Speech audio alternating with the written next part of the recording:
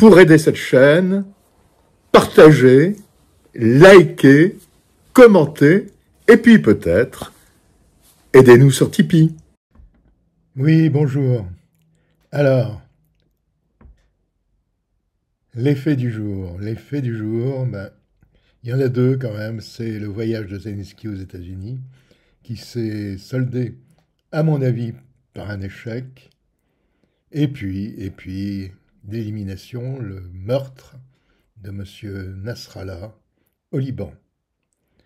M. Nasrallah étant le chef du Hezbollah, je pense vraiment que ça va tourner mal.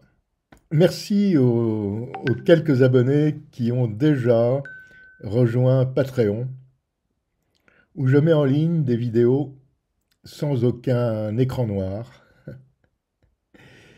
où je mets en ligne des vidéos de ce qui se passe vraiment autour de nous. que ce soit en France, que ce soit dans le monde, en Ukraine bien sûr, et au Moyen-Orient, au Liban et à Gaza. Et puis sur Patreon également, des articles venant de la presse francophone, mais pas seulement, des articles venant de la presse anglophone, en particulier des États-Unis, et puis, j'ai bon espoir de bientôt avoir des, articles russes et ukrainiens. Ça pourra contrebalancer l'effrayante, je dis bien l'effrayante propagande qu'il y a autour de nous. Ok, ben voilà, la revue de presse, à bientôt. Rappel de la guerre lors de la rencontre du président ukrainien Volodymyr Zelensky avec le président américain Joe Biden à la Maison-Blanche jeudi. Permettez-moi d'être clair. La Russie ne gagnera pas la guerre, la Russie ne l'emportera pas. L'Ukraine l'emportera et nous continuerons à soutenir à chaque étape du processus. Dans le cadre de son plan de victoire, Zelensky pousse Biden à permettre à l'Ukraine d'utiliser des armes américaines pour frapper des cibles plus profondément à l'intérieur de la Russie. J'ai évoqué avec le président Biden le plan de victoire. Aujourd'hui, nous nous préparons à discuter des détails pour renforcer le plan, coordonner nos positions, nos points de vue et notre approche. La Maison-Blanche dit qu'aucune annonce n'est imminente. La visite de M. Zelensky a été gâchée par les républicains qui étaient furieux de sa visite dimanche d'une usine de munitions en Pennsylvanie, un État où se joue l'élection présidentielle de novembre. Les républicains ont affirmé que cette visite était un événement de campagne destiné à aider les démocrates. Ils ont également demandé le renvoi de l'ambassadrice ukrainienne aux États-Unis, Oksana Markarova. Nous sommes au milieu d'une élection nationale très disputée et nous n'avons pas besoin que des pays étrangers interviennent et fassent entendre leur opinion dans un moment comme celui-ci. Zelensky a tenu une réunion séparée avec la vice-présidente Kamala Harris, candidate démocrate à la présidence. Elle a souligné que c'est à l'Ukraine de décider de la fin de la guerre et a critiqué le candidat républicain à la vice-présidence, J.D. Vance, dont la proposition de mettre fin à la guerre signifierait que l'Ukraine aurait moins de territoire et ne rejoindrait pas l'OTAN. Ces propositions sont les mêmes que celles de Poutine et soyons clairs, ce ne sont pas des propositions de paix. Le président ukrainien a rencontré ce vendredi Donald Trump à New York. Volodymyr Zelensky lui a présenté son plan pour la victoire, un tête-à-tête organisé au lendemain d'une rencontre avec la candidate démocrate Kamala Harris, qui a promis son soutien aux dirigeants ukrainiens. We have common view that the war in Ukraine has to be stopped and Putin can't win and Ukrainians have to prevail. I have a very good relationship and I also have a very good relationship, as you know, with President Putin. And I think uh, if we win, I think we're going to get it resolved very quickly. Depuis des mois, Donald Trump se vante de pouvoir solder le conflit en Ukraine en 24 heures. Vendredi, il a appelé à un accord juste pour tout le monde. Le président ukrainien affirme de son côté avoir exposé les conséquences de la guerre pour son peuple. Pendant ce temps, au moins trois personnes sont mortes en Ukraine après qu'une nouvelle frappe russe a touché un quartier de la commune de Kryivri. Le raid a endommagé des dizaines de maisons et 80 voitures ont été détruites. Plus au nord, les pompiers ont travaillé toute la nuit pour éteindre de nombreux incendies déclenchés par des frappes russes sur la ville d'Ismaïl, dans la région d'Odessa. Trois personnes sont mortes dans l'attaque et des dizaines ont été blessées. C'est une obsession et c'est incroyablement dangereux. Et cela va mal finir, quoi qu'il arrive. Mais permettez-moi d'abord de dire à propos de votre commentaire que cela concerne la Grande-Bretagne lançant des frappes de missiles contre la Russie.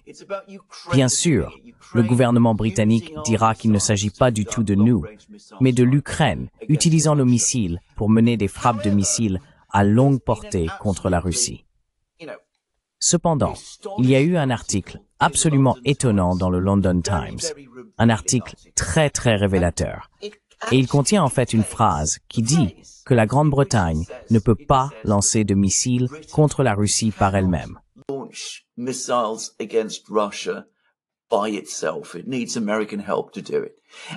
Elle a besoin de l'aide américaine pour le faire. C'est-à-dire, en effet, ils ne disent pas que l'Ukraine ne peut pas le faire. Vous savez, elle a besoin de l'aide américaine ainsi que britannique. Ils disent que la Grande-Bretagne ne peut pas le faire.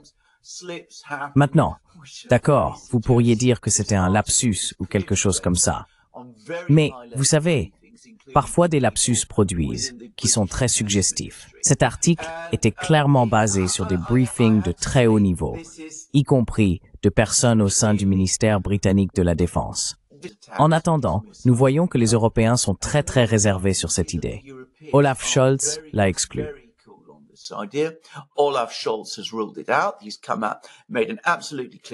Il a fait une déclaration absolument claire. Il dit que cela ne va pas se produire. Il ne va pas fournir de missiles Taurus à l'Ukraine. Il ne va pas autoriser des frappes de missiles à longue portée contre la Russie. Mélanie dit exactement la même chose. Maintenant, il y a quelques semaines en France, Macron aurait également pu soutenir cette idée. Et garder à l'esprit que le Storm Shadow est essentiellement un missile français. Apparemment, c'est un dérivé d'un missile que les Français ont développé dans les années 1980. Ce sont eux qui le produisent. Il y a eu une contribution britannique, mais ce sont les Français qui le fournissent, et les Français doivent donner la permission pour qu'il soit utilisé de cette manière. Et il est absolument clair, après les récentes élections parlementaires en France, que le public français s'y oppose et que la plupart de la classe politique française, maintenant à gauche comme à droite, s'y oppose également.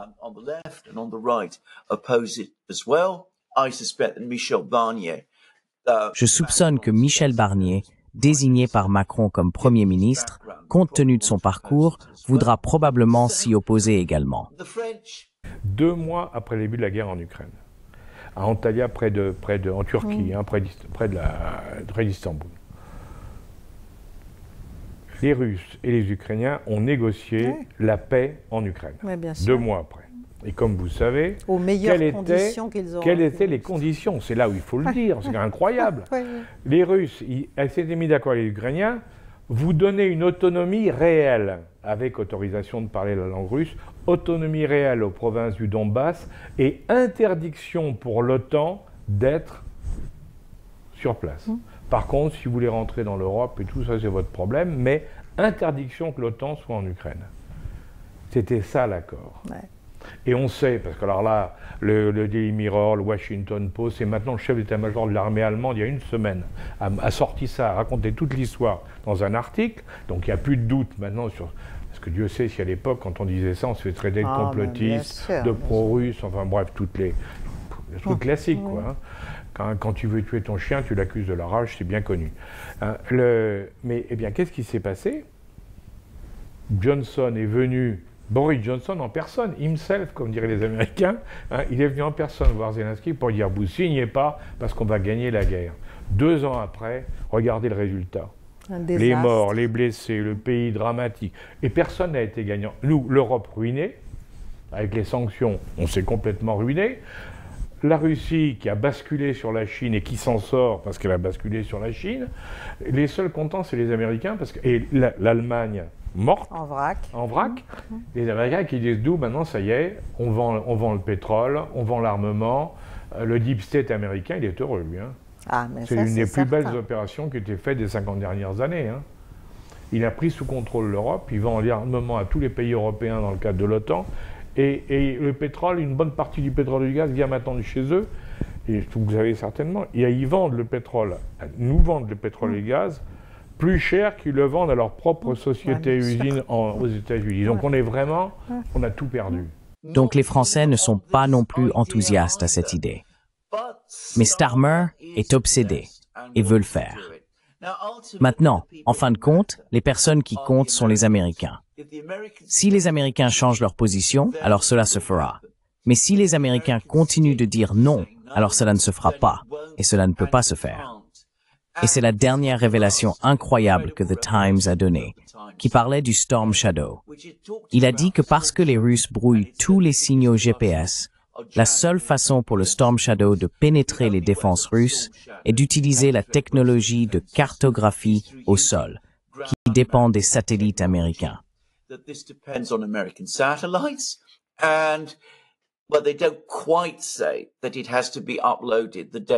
Mais ils ne disent pas vraiment que les données doivent être téléchargées par des techniciens américains.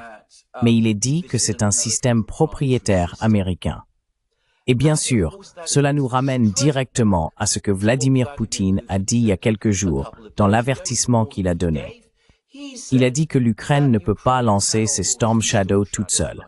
Elle a besoin de personnel de l'OTAN pour formater les missiles afin que cela se produise. Maintenant, cet avertissement, ces mots de Poutine, n'ont pas été largement diffusés en Occident. En fait, en Grande-Bretagne, ils n'ont pas été diffusés du tout. Mais nous voyons que The Times, en effet, confirme leur véracité, que les Américains doivent être impliqués. Ils doivent fournir les données satellites et probablement aussi le formatage. Le plan de victoire de Zelensky est effectivement d'entraîner les États-Unis dans le conflit. Il n'y a pas d'OTAN. Les États-Unis sont l'OTAN. Et donc le but principal est simplement d'amener les États-Unis dans le conflit en Ukraine. Qui sait même? Peut-être même avec des troupes au sol. Dieu sait ce qu'ils pensent. Mais ils doivent faire entrer les États-Unis dans la guerre. C'est leur seule possibilité. Cela ne garantit même pas une victoire.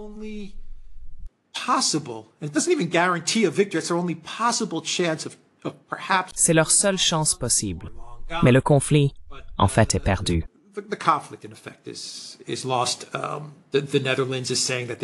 Les Pays-Bas disent qu'ils n'ont pas de missiles patriotes à donner à l'Ukraine, même s'ils parlaient de fournir des systèmes de défense aérienne patriotes à l'Ukraine.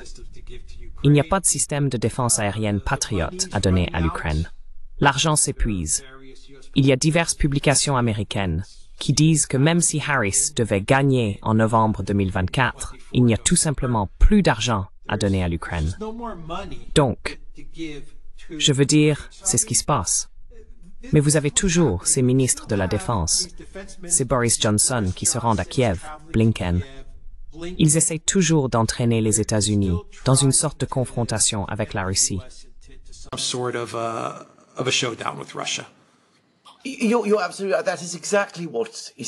Vous avez tout à fait raison.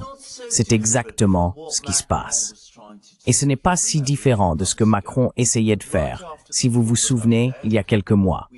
Juste après la chute d'Avdevka, nous avons eu la précédente grande panique. L'Ukraine semblait sur le point de perdre. Macron sort et parle d'envoyer des troupes françaises en Ukraine pour tenir la ligne là-bas. Nous avons dit à l'époque, et d'autres ont commencé à le dire aussi, et que ce que Macron faisait vraiment, c'était essayer de créer une situation où les Français se heurteraient aux Russes et les Français demanderaient alors aux Américains de venir les sauver. C'était essentiellement de cela qu'il s'agissait. La société française était profondément hostile à tout ce plan.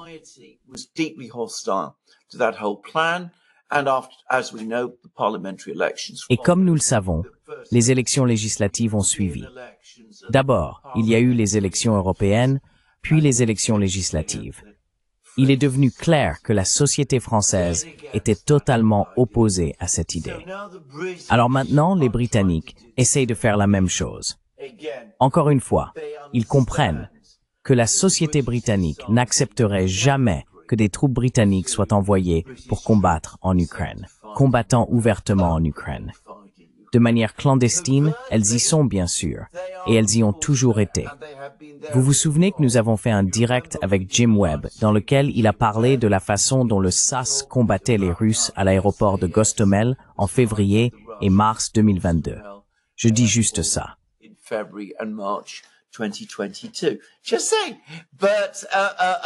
Mais les Britanniques, peut-être qu'ils sont impliqués secrètement.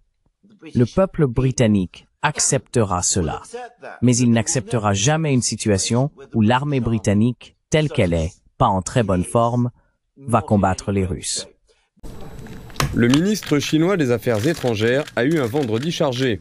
Il a rencontré le secrétaire d'État américain Anthony Blinken, interagi avec le ministre brésilien des Affaires étrangères et le secrétaire général des Nations Unies Antonio Guterres. Wang Yi et les ministres des Affaires étrangères des pays du Sud global se sont rencontrés en marge du débat général tôt dans la journée de vendredi. Le Brésil et la Chine ont l'intention de faire avancer leurs propositions de médiation dans le conflit entre la Russie et l'Ukraine. Dans une déclaration commune, le groupe s'est dit profondément préoccupé par les hostilités en cours et les risques d'une nouvelle escalade. Nous nous sommes réunis en tant qu'amis de la paix, parce qu'un nombre croissant de nations reconnaissent que la crise ukrainienne ne doit pas échapper à tout contrôle et que la communauté internationale ne peut pas s'emprer dans la division et la confrontation. Nous devons nous unir et collaborer à la recherche d'une solution pacifique. La réunion d'aujourd'hui a abouti à un large consensus et notre position est claire et sans équivoque. Le ministre chinois des Affaires étrangères a ensuite rencontré le secrétaire d'État américain Anthony Blinken. Les deux puissances mondiales se sont opposées sur un large éventail de questions, notamment le conflit en Ukraine et la guerre à Gaza. S'exprimant lors d'une nouvelle réunion d'urgence du Conseil de sécurité des Nations Unies sur Gaza, Wang Yi a réitéré l'appel de la Chine en faveur de la fin des combats au Moyen-Orient. Selon lui, la guerre est un test de la conscience humaine, tandis que la paix requiert la sagesse et la détermination de tous les pays, en particulier ceux qui siègent au Conseil de sécurité. Un jour de guerre de plus signifie plus de victimes civiles et de familles brisées. Une région de plus où les conflits s'étendent signifie plus de débordements de crise et de haine. Nous devons agir de toute urgence pour promouvoir un cessez-le-feu durable et un retrait complet des troupes à Gaza. Les partis en conflit doivent appliquer pleinement les résolutions du Conseil de sécurité et prendre la décision d'un cessez-le-feu et ne pas prendre de mesures aventureuses qui aggravent les tensions. Toutes les réunions bilatérales étant maintenant terminées, le ministre chinois des Affaires étrangères doit maintenant se préparer pour son discours très important à l'Assemblée générale samedi. Wang Yi, comme beaucoup d'autres qui sont montés à la tribune cette semaine, devrait aborder le conflit en cours au Moyen-Orient et défendre la position de la Chine qui appelle à la diplomatie et à la mise en œuvre immédiate de la solution à deux États. Alors, bon, sur le plan de l'Ukraine, moi j'ai la conviction, contrairement à ce que certains nous racontent ou veulent nous faire croire, que la négociation ne se fera pas avec les Européens, elle se fera Ah entre bah, les Américains, ouais, Moscou, les, Russes, Mm. les Chinois qui Mm. s'en mêlent beaucoup Mm. actuellement. Je trouve qu'ils ont sorti un plan Ouais, en ouais. six points puis, qui, a commencé à être, qui a été signé par un certain nombre de pays des BRICS. Donc c'est pas négligeable. hein. Le. Brésil vient de signer la, la proposition en disant ouais, c'est une bonne proposition. Donc il y a les Chinois d'un côté et qui peuvent faire pression sur les Russes, puisque maintenant les Russes sont venus avec eux. On a les Américains, je crois que c'est comme ça que ça va se passer. Nous, on va compter les points et après, on comptera les ruines dans nos pays. On va surtout compter les ruines, oui, c'est ça, c'est ça, Donc c'est. c'est ça. Et là, c'est- c'est- voilà. Donc, je, mais je crois pas qu'on est. Je ne crois pas que dans l'affaire ukrainienne, les, les Européens aient la moindre chance de pouvoir faire quoi que ce soit. Nous, en voulant imposer nos systèmes, la fameuse démocratie à l'occidentale, quand on a fait dans les pays, euh, les pays ara- francophones, Mm. hein, les pays francophones d'Afrique, bon, on a dit voilà, il faut, il faut un système avec un président élu régulièrement et tout. Mais dans des pays où ce sont des clans, Ouais. des ethnies, des tribus, où les gens sont à vie le patron d'un clan ou autre, où dans le système de clan, le chef redistribue la manne à tous les gens de son, Son clan. clan. Eh oui. Donc, à partir de ce moment-là, le système démocratique ne marche pas. Non. Alors, on a fermé les yeux quand c'était Oufouet de Boigny, quand c'était Senghor et tous les autres, parce que c'était, il y avait le clan qui dominait, il, il parlait le français merveilleusement bien, ils étaient sympas et tout, alors on a fermé les yeux. Mais ça fonctionnait pas du tout en démocratie. Il y avait un parti qui contrôlait tout, le clan. le clan, la tribu qui contrôlait tout. Alors bon, c'est les babilékés, les machins, peu importe. Aujourd'hui, on, leur dit c'est scandaleux, comment vous n'appliquez pas la démocratie Mais, mais chez nous, c'est pas ça. Donc en, définitive, ce qui se passe aujourd'hui, et même dans l'affaire des capitaines qui prennent le pouvoir un peu partout, le problème c'est qu'il faut qu'ils arrivent à imaginer une forme de démocratie à l'africaine. Et ça, il faut qu'ils l'imaginent, qu'ils la construisent et qu'ils la mettent en place. Ça se fera pas en un jour. Et nous, là-dedans, on est mal placé pour en parler parce que nous, on leur a justement, on a vicié leur approche en voulant imposer nos méthodes. La fin du dollar, enfin, le, début de fin du dollar, ça va prendre du temps. Mais le fait que ça y est, pour les énergies, on peut payer autrement qu'en dollars. Hein. Pour les Arabie en Arabie, les bah Émiratis, les Russes, ça y est, c'est parti partout. Mm. Bon.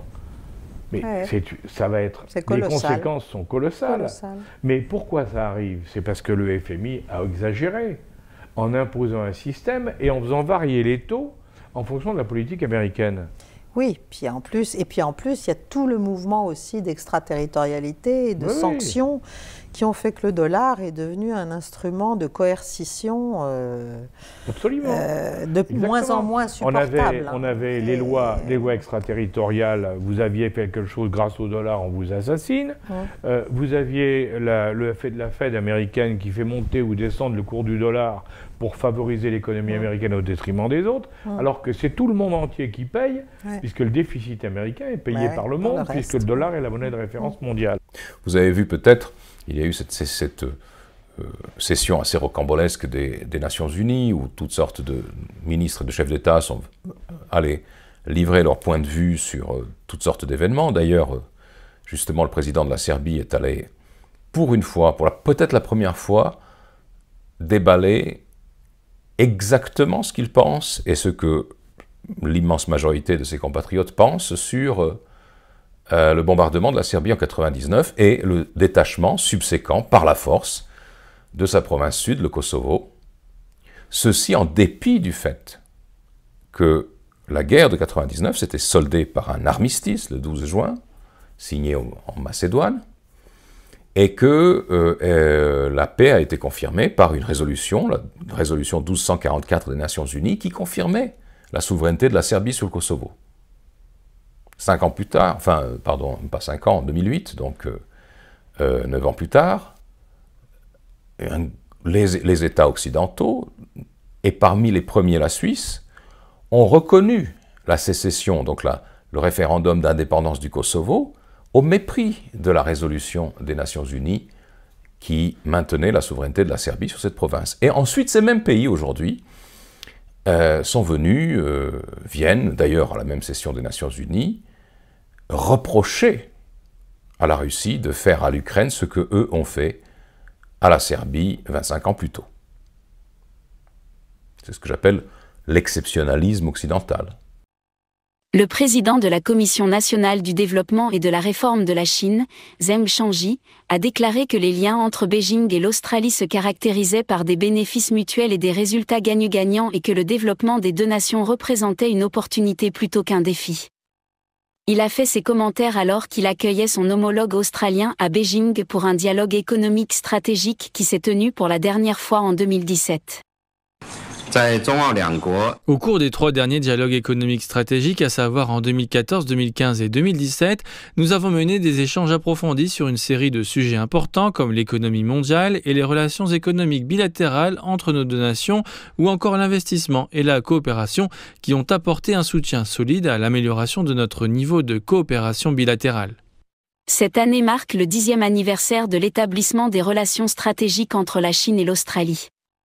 Zheng Shanje a déclaré que les relations bilatérales étaient entrées dans une nouvelle phase depuis novembre dernier.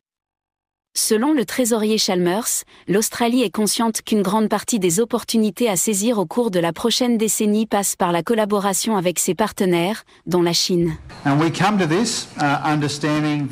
Nous sommes parvenus à la conclusion que l'Australie et la Chine ont des économies complémentaires. En tant que premier partenaire commercial, nous avons un profond intérêt à ce que la croissance économique de la Chine soit stable et continue, et un grand intérêt à trouver des moyens de continuer à coopérer où nous le pouvons. Ce dialogue est une occasion importante de le faire. Le ministre Jim Chalmers devient le premier ministre du gouvernement australien à occuper ce rôle économique clé à se rendre en Chine depuis sept ans, dernier signe en date que les relations bilatérales tendues sont en train de se rétablir. Cette visite, selon les experts, devrait également favoriser les opportunités de percer dans la coopération entre les deux nations dans de nouveaux domaines, en particulier dans la lutte contre le changement climatique et les initiatives en matière d'énergie propre.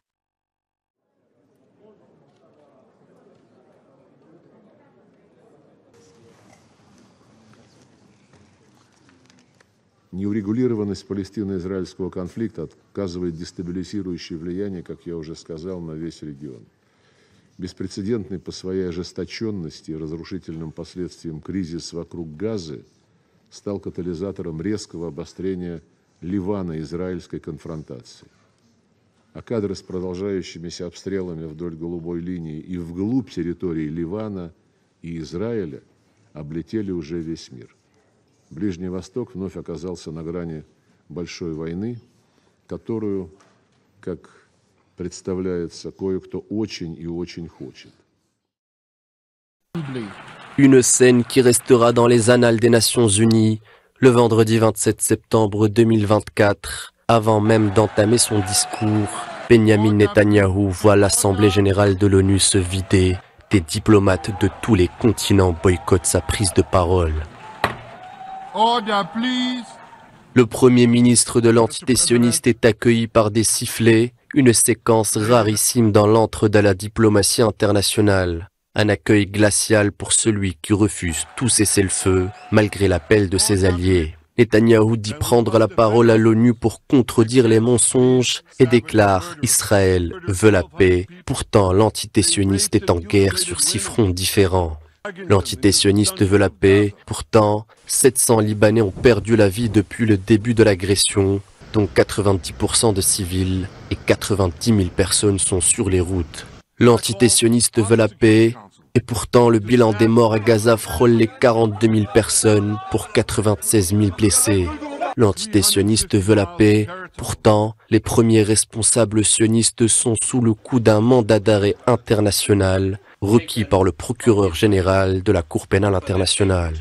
L'entité sioniste veut la paix, pourtant elle se retrouve sur le banc des accusés à la Cour de justice internationale, accusée de génocide à Gaza par l'Afrique du Sud. Il déroule ensuite une série d'arguments face à une assemblée qui continue de se vider, citant même la Torah pour justifier les agissements sionistes, négligeant le droit international et ses règles. C'est en réponse à toutes ces incohérences que des diplomates des quatre coins du globe ont décidé de quitter la salle, préférant ignorer les accusations de Netanyahou. Par ce boycott, ils démontrent collectivement l'isolement de l'entité sioniste sur la scène internationale, un État voyou qui se voit justicier. Le gouvernement de Chypre se dit prêt à accueillir des citoyens libanais fuyant le conflit entre Israël et le Hezbollah, qui a fait plus de 600 morts ces derniers jours. La question a été abordée lors d'une réunion entre le président chypriote et le haut commissaire des Nations Unies pour les réfugiés. Le Premier ministre grec s'est par ailleurs entretenu avec son homologue libanais et a exprimé son soutien à un cessez-le-feu de 21 jours entre Israël et le Hezbollah proposé par la France et les États-Unis. Israël a depuis rejeté cette proposition, affirmant vouloir poursuivre ses attaques contre le Hezbollah. Plus de 90 000 civils ont fui le sud du Liban ces derniers jours. Des citoyens libanais arrivés à Athènes par un vol en provenance de Beyrouth décrivent le chaos qui règne actuellement dans le pays. The situation, as you all know, it's not that good. Um, the, the Israel is uh, still attacking us, and um, nobody is supporting us. Especially from uh, South Lebanon, uh, they are leaving their home there are a lot of kills there. Oh, I, but I was so scared to drive to the airport because it's within, within South Lebanon that they are bombing over there. So, I mean, thank God no problems on the way, and thank God they didn't strike the airport. I'm, I'm happy. Plusieurs pays européens exhortent leurs ressortissants au Liban à quitter immédiatement le pays en raison de l'escalade des hostilités, alors que l'état-major israélien envisage de lancer une opération terrestre dans le pays. L'armée israélienne a déclaré ce samedi avoir tué Hassan Nasrallah, le chef du groupe militant Hezbollah, lors d'une puissante frappe sur Beyrouth. Le raid israélien a détruit des dizaines d'immeubles, poussé à la fuite des centaines de personnes et fait au moins 6 morts et 91 blessés. Un porte-parole de l'armée israélienne, le lieutenant-colonel Nadav Shoshani, a publié Hassan Nasrallah est mort sur le réseau social X. Saal a déclaré avoir effectué une frappe aérienne précise alors que les dirigeants du Hezbollah se réunissaient dans leur quartier général à Dahieh au sud du Beyrouth. L'armée israélienne a également affirmé qu'Ali Karki, le commandant du front sud du Hezbollah, et d'autres responsables militaires du groupe islamiste auraient également été tués dans l'attaque. Hassan Nasrallah, qui dirige le Hezbollah depuis plus de 30 ans, se cache depuis des années et n'apparaît que très rarement en public, ces discours sont généralement diffusés en vidéoconférence depuis des lieux inconnus. Le Hezbollah n'a pas commenté les déclarations israéliennes dans l'immédiat. Dominique de Villepin, si la mort d'Hassan Nasrallah est confirmée par le Hezbollah, c'est quoi l'étape d'après? Une confrontation directe avec l'Iran Une réaction directe de l'Iran? C'est le risque de l'engrenage, de l'escalade, de la fuite en avant. Mais c'est d'ores et déjà une étape très importante dans la guerre qui se déroule, la guerre du Liban qui fait suite à la guerre de Gaza, qui n'est pas terminée, qui n'est pas close. Et c'est une figure très emblématique de la politique euh, du Moyen-Orient, du monde arabo-musulman depuis une trentaine d'années. Euh, Nasrallah, c'est quelqu'un qui est rentré au mouvement Hamal, chiite, en 1982, qui a pris euh, la tête du Hezbollah en 1992, donc dix ans plus tard, à la suite de l'assassinat de Moussaoui, justement à cette date, en 92. Et c'est quelqu'un qui a marqué toute cette période. Et en particulier, qui a marqué et qui est considéré comme un héros par beaucoup de membres du mouvement, à cause de 2006, où il a défait, entre guillemets, euh, l'armée israélienne et conduit au départ de cette armée. Mais c'est aussi euh, une figure très contestée, puisque cette, euh, ce Hezbollah, c'est un mouvement qui a une face noire. Il faut jamais oublier que c'est un mouvement composite. C'est à la fois un mouvement politique, enraciné euh, dans la vie libanaise. Il y a des députés, euh, il y a des ministres du Hezbollah, et c'est aussi une milice terroriste qui est responsable en particulier euh, des attentats de 83 dont la France a été victime ainsi que les Américains qui est très active dans le trafic de drogue et qui joue donc un rôle essentiel. Donc un double ancrage, un ancrage au Liban très fort et en même temps c'est l'instrument de l'Iran. C'est un instrument très efficace pour l'Iran puisqu'il assure la protection euh, de l'Iran dans la proximité vis-à-vis d'Israël. Il est donc euh, la partie la plus avancée, la pointe la plus avancée des intérêts iraniens à proximité d'Israël. Il n'y aura donc pas de, cessez-le-feu au Liban. Netanyahou n'en veut pas. Emmanuel Macron a dénoncé cette nuit une faute. Georges, pourquoi le Premier ministre israélien a-t-il tout de suite fermé la porte à cette trêve qui, on le rappelle, avait été proposée à la fois par la France et par les États-Unis? Alors il y a plusieurs raisons, Amandine. La première, c'est qu'il veut profiter des récents succès de son armée et de ses services de renseignement pour porter un coup fatal au Hezbollah. Sans s'être effondrée, la milice pro-iranienne a été fortement déstabilisée la semaine dernière par les explosions de ses beepers et la décapitation de son unité d'élite. Soutenu par de nombreux Israéliens, Netanyahou veut pousser plus loin son avantage. Hier encore, son armée a liquidé dans une opération ciblée le responsable de l'unité aérienne du Hezbollah. Cela fait presque 20 ans que l'État hébreu rêvait de casser l'infrastructure militaire de son ennemi, une infrastructure qui n'a fait que se renforcer depuis la dernière guerre de 2006. Netanyahou ne veut lui laisser aucun répit, même de 21 jours comme Joe Biden et Emmanuel Macron le proposent. Il redoute que le Hezbollah se ressaisisse. Mais néanmoins, les États-Unis doivent se sentir un peu humiliés là avec ce, qui est, ce que leur dit Netanyahou. Ben effectivement, Thomas Joe Biden est humilié et pour la deuxième fois en quelques mois, puisque Netanyahou lui avait déjà fait le coup sur un projet de cesser le feu avec le Hamas à Gaza. L'entourage du président américain commence d'ailleurs à parler. En fait, Netanyahou aurait trahi sa parole puisque cet appel au cessez-le-feu au Liban franco-américain a été lancé en coordination et avec la bénédiction d'Israël, a affirmé hier soir la Maison-Blanche. Vous l'avez dit, Emmanuel Macron lui a parlé de fautes commises par Benjamin Netanyahou. Mais entre-temps, le leader israélien a cédé à la colère de certains de ses ministres extrémistes et il a fait machine arrière. Et est-ce qu'à force de, de tirer comme ça sur la corde, le Premier ministre israélien ne risque pas gros? Eh bien non, il joue sur le calendrier électoral américain, on est à 40 jours de la présidentielle, s'opposer fortement au Premier ministre de l'allié israélien serait risqué politiquement pour le camp démocrate, d'autant que certains dans l'administration américaine ne sont pas loin de penser comme Netanyahou, même si le crédit international des États-Unis doit en pâtir. Un détail enfin, mais il illustre bien l'hypocrisie américaine, le ministère de la Défense israélien a annoncé hier soir avoir obtenu de Washington 8,7 milliards de dollars d'aide militaire. Benjamin Netanyahou et les ultras de son gouvernement peuvent donc dire au Hezbollah c'est la reddition ou la guerre. Pas sûr toutefois qu'une prolongation d'un conflit meurtrier permette aux habitants du nord d'Israël de rentrer chez eux. C'est pourtant le but de guerre de M. Netanyahou. On voit bien d'ailleurs que Joe Biden lui-même, euh, lors de la visite de Benjamin Netanyahou, a annoncé une aide supplémentaire à Israël, alors que nous sommes au cœur de la crise. 8,7 milliards. Presque 9 milliards euh, de dollars. Donc on voit bien que le moment n'est pas encore venu où l'Amérique se servira des deux outils majeurs, parce que c'est eux qui ont les deux grands verrous. C'est évidemment euh, et l'argent et les armes. Ce que je crois, l'embrasement régional, pas vraiment. Je pense que Netanyahou, c'est sa politique. Hein. Il veut que la guerre continue, il veut pas de solution, il veut pas d'État palestinien par ailleurs. Euh, il veut un peu d'escalade. Il espère, il rêve d'entraîner les Américains un jour mm. dans une guerre au plus haut niveau éclairant, mais il n'y arrivera jamais.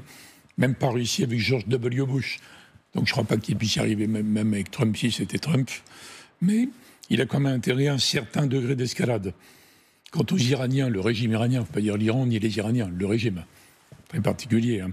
ils ont intérêt, ils ne peuvent pas ne rien faire. Donc ils sont obligés de répliquer en montrant qu'ils sont quand même euh, très engagés, très combatifs, sans se mettre en danger.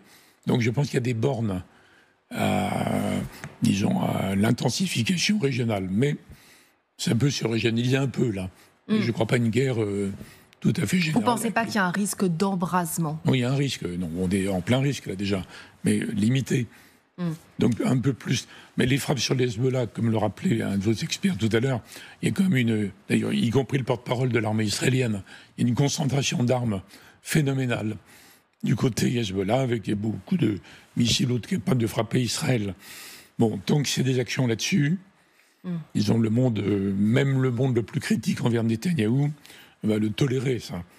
Mais si vous posez la question de la guerre générale avec tous les pays du Moyen-Orient, mm. y compris l'Iran et les États-Unis engagés malgré eux, mm, je ne crois pas que ça ira jusque-là. C'est surtout le très très grand aveuglement qui existe aujourd'hui chez tous les leaders, euh, à la fois européens et américains. Ils n'ont pas de vision euh, du monde, là où il faut reconnaître à Benjamin Netanyahou euh, d'avoir au moins une vision militaire, puisque l'opération qu'il a lancée contre euh, Nasrallah, Hassan Nasrallah, s'appelle Nouvel Ordre. Et on voit bien derrière qu'il y a l'idée d'un nouvel ordre régional débarrassé de euh, ces milices chiites.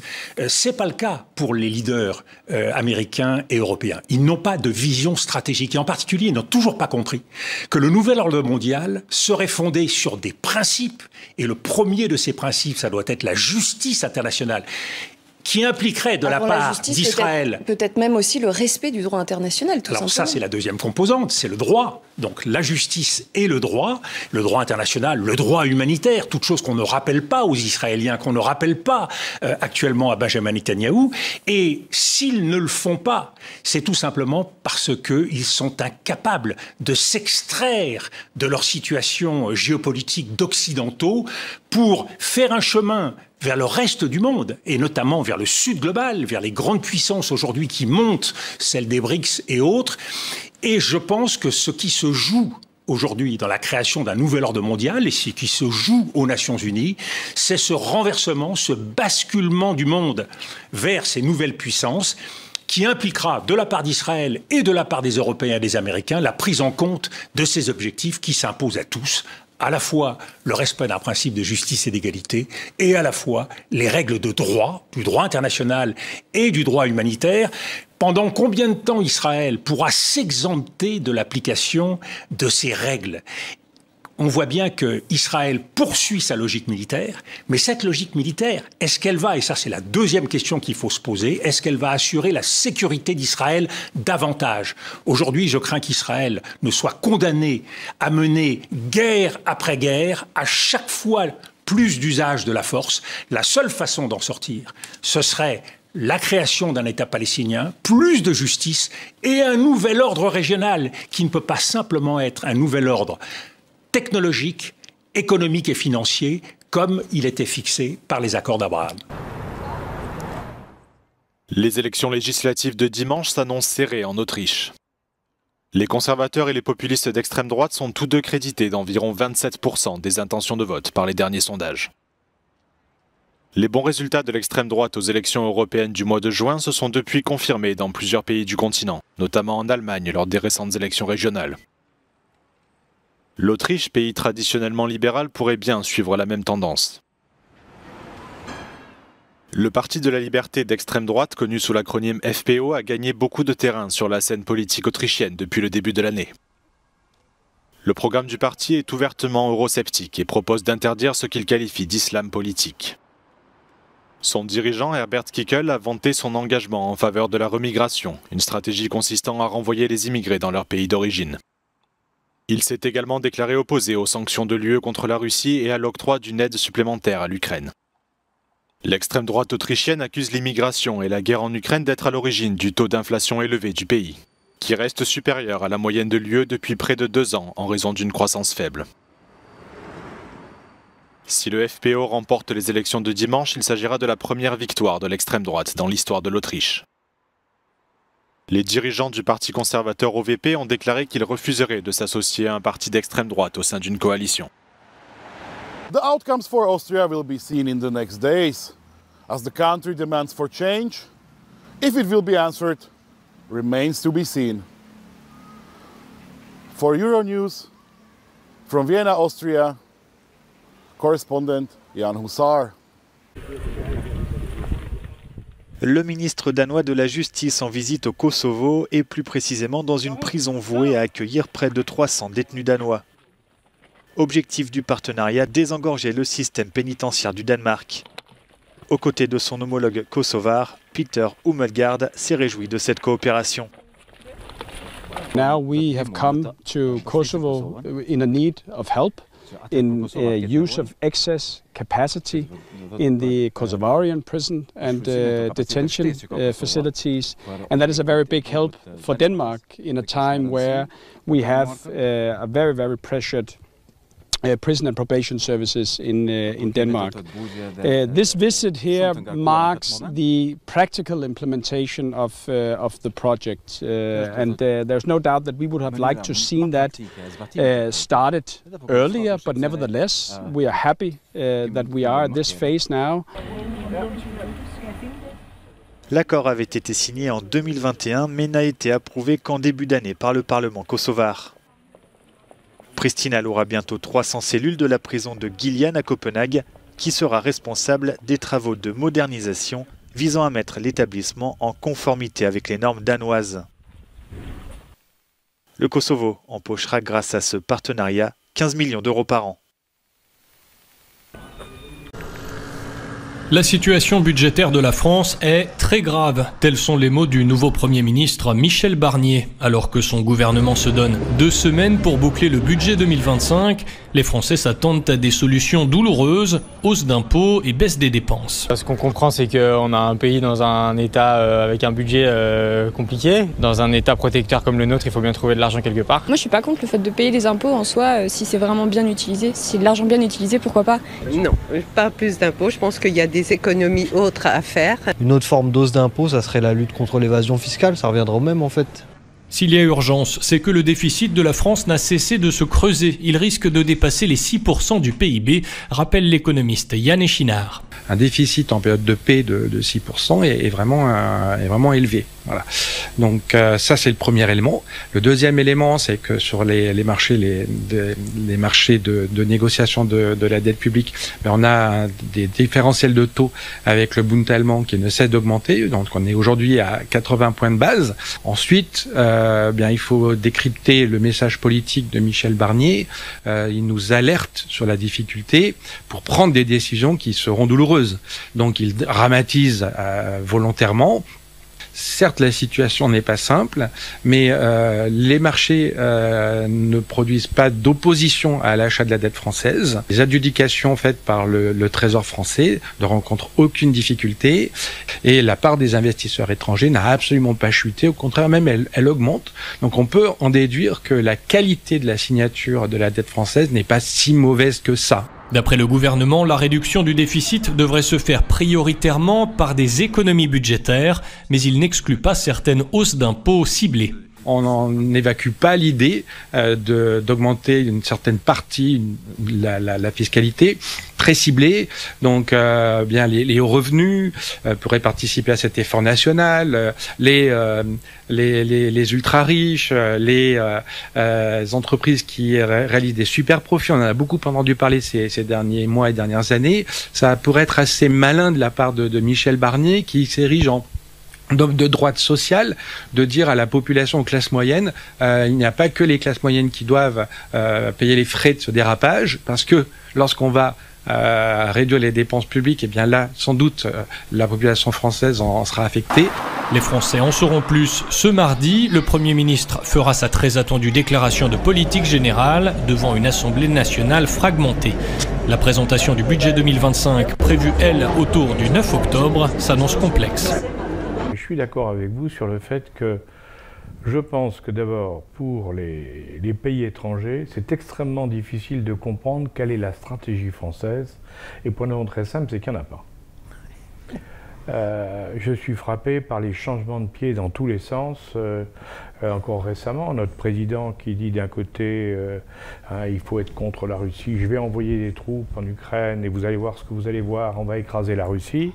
Bon, et, euh, qui, et qui ensuite, il y, a, il y a quelques jours, donc, euh, euh, dit attention, la paix approche. Alors moi j'étais content d'entendre ça, parce que depuis le temps que je le dis et que je me fais traiter d'affreux, la paix approche et il va falloir qu'on redéfinisse nos positions en Europe et en particulier nos relations avec la Russie. Alors là, les bras m'en tombent. On a été le plus agressif, après avoir essayé, avoir loupé un rendez-vous à, à Moscou, ouais. on a essayé d'être les plus anti-russes qu'on pouvait être en Europe. Hein, pour aller dans le sens de l'histoire, comme on dit. Et puis et maintenant, on commence à dire ah oui, mais comme évidemment la paix est en train de devenir une évidence pour tout le monde, une nécessité pour tout le monde, alors on dit ah ben non, mais maintenant on va changer de politique. Mais non, c'est pas comme ça la politique. La première solution pour, pour euh, régler la, pour être une armée européenne, il fallait que la France soit indépendante sur le plan militaire, donc être comme on était sous, après De Gaulle, c'est-à-dire on était alliés proche de l'OTAN. On faisait des manœuvres avec l'OTAN pour être capable de travailler ensemble, mais on n'était pas OTAN. Et, vous voyez, je pense que depuis cette époque-là, quand vous regardez les présidents successifs que nous avons eus, donc le président euh, Sarkozy, le président euh, Hollande et le président Macron, on voit que ben, ils sont fait prendre dans un ensemble. Euh, on ne peut pas comprendre ce qui s'est passé euh, en Syrie, si on oublie qu'on était effectivement avec les Américains qui nous ont dit qu'il faut y aller, après dire ils nous ont laissé tomber, bon ça c'est autre chose. Euh, on peut pas, dans tous les coins, si vous voulez, du monde, on voit que chaque fois, eh ben, on est dans une mauvaise position. Alors, j'allais vous dire que, alors, en plus, nous, au moment, au moment, où on détruit, on a, on a, fait partir nos diplomates, on les remplace par, par un peu tout le monde, hein, eh bien, dans le même temps, on s'aperçoit que les autres, et ça, ça me frappe, et on pourra en reparler peut-être sur l'Europe, euh, c'est très frappant, c'est qu'on a en face de nous des diplomates, sont des diplomates confirmés. Blinken, l'Américain, il est aujourd'hui euh, ministre des Affaires étrangères, donc secrétaire d'État hein, aux États-Unis, mais il a derrière lui une longue carrière dans la diplomatie. Euh, le russe Lavrov, il est dans la diplomatie depuis toujours, donc il connaît tout, il a tout vu, il a, il a vécu toutes les crises depuis 20 ans. Et il est donc, ministre depuis 15 ans. Mais exactement, euh, c'est ça. Donc si vous voulez, ce sont des gens poste. qui ont une expérience et qui savent, dès qu'il y a le moindre problème, ils savent le mettre en relation avec d'autres problèmes eh et, comprendre. Euh, alors que nous, les nôtres, quelle que soit leur intelligence, ils sont incapables de mettre tout un parce qu'ils ne savent pas. Si vous voulez, ouais. euh, ce que je disais, l'intuition ne remplace pas l'expertise et la connaissance. Or là, ben, il faut bien reconnaître que nous n'existons plus. Mais moi, je suis très frappé de voir comment il y a eu des erreurs de choix au niveau de la, de la politique française qui ne peuvent s'expliquer, au niveau de la politique internationale française, hein, qui ne peuvent s'expliquer que parce que le président, parce qu'il est un homme intelligent, a eu de mauvaises informations. Alors, du côté des diplomates, ça ne m'étonne pas, on a remplacé les diplomates par des gens qui ne connaissaient pas. Mais il restait les services, et je me pose des questions un certain nombre de fois en me disant, mais est-ce que les services, véritablement, fonctionnent comme ils devraient pour fournir les bonnes informations? Vous voyez donc, et je n'ai pas la réponse, hein, parce que je ne suis pas à côté, mais indiscutablement, on est trop souvent à côté de la plaque pour que ce soit la malchance. Un bon service de renseignement, et on a, vu, il y en a eu plein de loupés, il y a eu plein de ces dernières années chez les uns ou chez les autres. Euh, un bon service de renseignement, c'est un service de renseignement qui est neutre. C'est-à-dire que il prend les événements tels qu'ils sont, factuels, et il n'introduit pas dans l'analyse des événements de l'idéologie. De biais. Euh, oui. Hein, il, n'introduit pas du parti pris. Il doit rester neutre pour que l'analyse soit neutre. C'est au patron, qui lui connaît les autres éléments, de faire un choix en disant bon ben, je sais ce que j'ai, je sais ce qu'ils font, voilà la stratégie que je vais appliquer. Tout à fait. Hein Mais si on vous donne des éléments qui sont biaisés, parce que stratégiquement parlant, ils sont biaisés par une idéologie, par des a priori, euh, ben évidemment, vous ne pouvez pas comprendre. Ou par le refus de s'intéresser à certains oui, acteurs. Exactement. oui, exactement. À nos alliés, la, négation il y a des, points aveugles. Quoi. Il y a voilà, la négation de certaines choses, on ne veut pas regarder. Hein euh, et alors, et après, ben, moi je, vois cette affaire. Regardez l'affaire de l'Azerbaïdjan, euh, qui est où on a découvert que des groupes, des groupes des, des, ils ont financé, je dirais, des associations pour mettre la pagaille, c'est le moins qu'on puisse dire, hein, parce que c'est la guerre. Ils ont fait la guerre, une acte, des actes de guerre en Nouvelle-Calédonie. Bon, alors on dit les affreux Azerbaïdjanais. Alors pourquoi ils ont fait ça? Alors, est-ce que c'est parce que brutalement les Azerbaïdjanais s'intéressent hein, au, tiers-monde? Bien sûr que non. Ils s'y sont jamais intéressés, c'est pas aujourd'hui qu'ils vont s'y intéresser. La réalité, elle est très simple. C'est que le, patron, le président de l'Azerbaïdjan, qui n'est pas un tendre, hein, c'est moins qu'on puisse dire, a été ulcéré que les Français, que le président français et son équipe interviennent et fassent des commentaires dans l'affaire de l'Arménie et présentent en France l'affaire de l'Arménie. Or, l'affaire de l'Arménie, quand on regarde l'histoire, et je ne vais pas défendre ni les uns ni les autres, hein, mais quand on voit l'histoire, une fois de plus, méconnaissance de l'histoire, vous allez voir, l'affaire de l'Arménie. Les Arméniens étaient proches des Russes, étaient dans l'orbite russe. Bon. Les Américains, dans le cadre de la déstabilisation des pays d'Europe du Nord hein, et, de l'Asie centrale, pour déstabiliser la Russie, bien sûr, par contre-coup, hein, euh, essaient de récupérer, c'est moins qu'on puisse dire, font des manœuvres militaires avec les Arméniens. Évidemment, furie des Russes, qui disent, mais enfin, qu'est-ce que ça veut dire hein? Oui, vous êtes avec nous, on vous aide, et voilà que vous allez avec les Occidentaux. Donc, qu'est-ce qui se passe?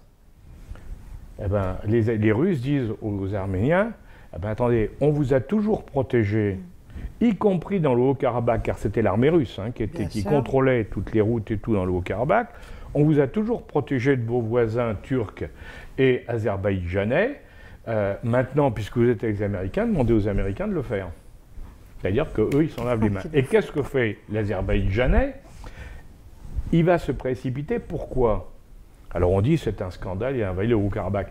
Et c'est vrai que du point de vue arménien, c'est horrible. Mais il ne faut pas oublier qu'au moment, de, en 90, au moment de la, de la chute du mur de Berlin, hein, il ne faut pas oublier que l'Arménie a envahi le Haut-Karabakh en Azerbaïdjan en profitant de la chute du mur de Berlin, a envahi cette partie-là en disant elle est à nous. Donc si vous voulez... Et elle ne l'est pas. Mais elle ne l'est pas vraiment. Non, elle pas elle ne pas légalement. D'ailleurs, elle n'est pas, légalement. quand on parle aujourd'hui de frontières, qu'il faut respecter les frontières, hein, puisque c'est un peu un dogme discutable parce qu'on ne le respecte pas, mais enfin, dans le dogme de respecter les frontières, eh ben, l'Azerbaïdjan avait bel et bien la frontière qui incluait le Haut-Karabakh. Et ce sont les Arméniens, en disant historiquement, il y, a il, y a de il y a des siècles et des siècles, on était là, ils ont envahi. Donc les autres, ben, quand ils ont eu la possibilité de contrer ça, puisque les Russes les protégeaient plus et que les Américains ont laissé faire, ben, ils ont reconquis le Haut-Karabakh. Alors, et nous, ah ben nous, on est... nous, parce qu'on a des Arméniens en France, on a, pas, on a dit, ah ben on va montrer qu'on est avec euh, le peuple arménien, donc on va défendre l'Arménie. Mais si vous remarquez, on a été les seuls à faire ce genre de déclaration. parce que tous les, tous les diplomates savaient l'histoire qu'on vient de raconter. Mais regardez l'Europe du Nord, l'Europe du Nord avec l'initiative des trois mers. Euh, ils sont en train, avec un objectif, c'est nous ne voulons absolument nous défendre contre la Russie, parce qu'on a, été, on a été vassal et écrasé pendant 40 ans, on n'a pas envie que ça recommence, et comme on n'a pas confiance en les Européens, on travaille avec les Américains. Bon, drôle de concept de l'Europe. Mais pourtant, c'est vrai. Et ils représentent 14 pays sur 28, hein, l'initiative. Euh, c'est vrai, hein. vrai.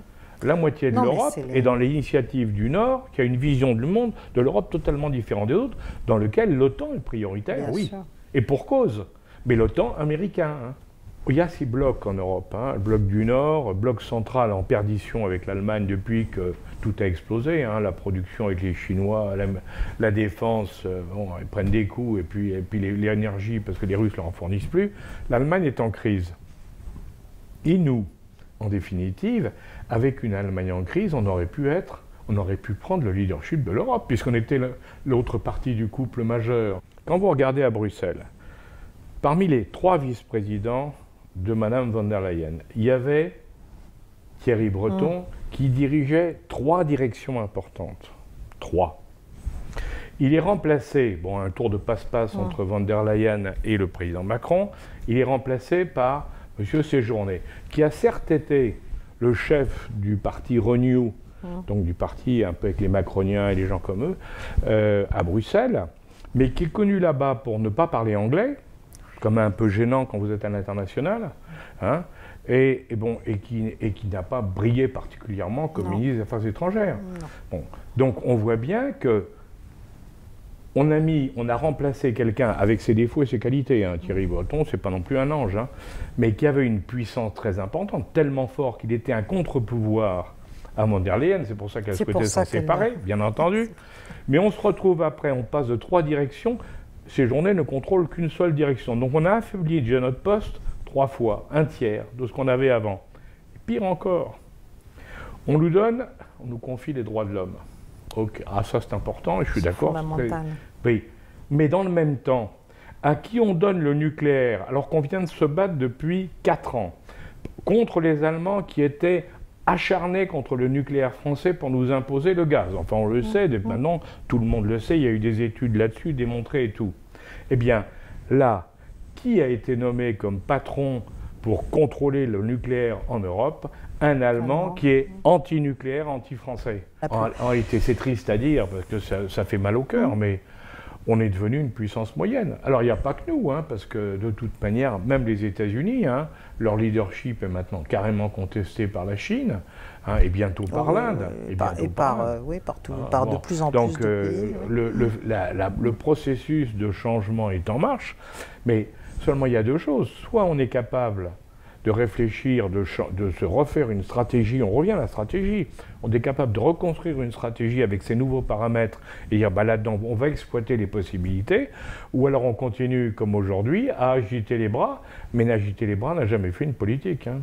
Il faut qu'on bâtisse une vision stratégique européenne, réaliste. Réaliste. Hein. Européenne. Attendez, je dis bien européenne réaliste, dis européenne parce qu'on a, avec Michel Barnier, on a quelqu'un qui connaît bien l'Europe. Et, donc, je pense que lui est parfaitement capable, il a été aux affaires étrangères, il a été partout, il est parfaitement capable d'imaginer de manière assez objective quelque chose en Europe. Mais, tout de suite, je vais mettre un, mm. un mais, c'est pas lui le chef sur, les sur la politique étrangère, le chef, c'est le président de la République. Et le président de la République, jusqu'à maintenant, a toujours pris des positions différentes de celles du Quai d'Orsay. Et son Premier ministre. Donc, je suis quand même légitimement inquiet sur la capacité du Premier ministre de pouvoir le faire. Et pourtant, je pense que si déjà on, on faisait ça, et qu'on affirmait une politique européenne claire, on redonnerait à nos alliés autour en Europe l'impression qu'on est redevenu sérieux. Et quels pourraient être nos alliés dans ce, ah, je pense retour au sérieux alors, en Europe? Alors c'est vrai qu'on s'est mis à dos tout le monde. Hmm. Hein, on s'est mis à dos Mélanie en la traitant de rigolote. Hein, on sait bon, les Allemands, hmm. on ne peut pas dire que le couple franco-allemand ça fonctionne. L'Espagne, nos relations sont pas bonnes. Enfin bon, euh, je cherche, je cherche. Hein. Mais, mais, je crois quand même que l'intérêt des pays aussi fait qu'un certain nombre de pays ne seraient pas mécontents de nous voir euh, reprendre un peu de poids, ne serait-ce que pour un peu rééquilibrer cette Europe qui est aujourd'hui explosée sans pour autant nous laisser prendre le pouvoir. Hein. Ça, c'est fini, ça. On est bien bah d'accord. Ça, je pense que c'est fini. Mais je pense que, parce que les gens se cherchent en Europe. Moi, je vois qu'il y a beaucoup de gens qui se cherchent. Bon, quand je vois Orban, bah, les déclarations d'Orban ou les déclarations d'autres, a pas que lui, hein, dans les pays, les pays du nord de l'Europe, et qui disent il faut qu'on construise une politique européenne ouverte vers les pays du tiers monde, qu'on arrête de s'obstiner à regarder que les États-Unis ah ben, et, la, et, la, Chine. C'est une folie. Hein, et ils ont raison. Bien sûr. Les, on va, au mois d'octobre, là, on a la réunion des BRICS. Hein. À Kazan. BRICS plus. Hum. Ça va être terrible. On va les, les gens qui sont. Ah ben là, on va prendre une leçon ben, de réalité. On va prendre une leçon de réalité et avec des gens qui vont nous faire le, le nombre. Alors, les PIB, le nombre, la population, les énergies et tout, et on va s'apercevoir qu'ils sont majoritaires dans toutes les facettes. Nous, nous sommes, le G7 n'existe plus comme puissance. Euh, on ne peut plus imposer aux autres quoi que ce soit. Ils sont plus forts que nous. Tour en France, justement, où le gouvernement Barnier s'est réuni euh, hier à Matignon. Réuni au grand complet hier pour un séminaire de travail. Objectif définir les principaux axes de la déclaration de politique générale que le Premier ministre prononcera mardi à l'Assemblée nationale. L'occasion aussi de donner l'image d'un gouvernement rassemblé autour de la même ligne politique, Arthur Delaborde. Après les fausses notes et les recadrages de ministres, ce séminaire visait à afficher la cohésion du gouvernement et à diffuser l'idée d'une méthode Barnier, écoute, échange, travail collectif. Le Premier ministre ne veut plus entendre parler de couac. Sur la photo de famille officielle prise hier après-midi dans les jardins de Matignon, Michel Barnier est d'ailleurs placé entre Bruno Retailleau et Didier Migaud, le ministre de l'Intérieur et le garde des Sceaux qui ont affiché leur divergence de vue cette semaine sur les questions de sécurité et d'autorité. Sur le fond, il s'agissait surtout de préparer préparer l'échéance importante de la déclaration de politique générale. Cinq thèmes ont été abordés. Pouvoir d'achat, territoire et services publics, économie, intégration, immigration et transition écologique. Pour travailler, les ministres ont été répartis au sein de groupes pour se mélanger, insiste Matignon, en mettant côte à côte des profils venus d'horizons divers et de sensibilités différentes. Arthur Delaborde.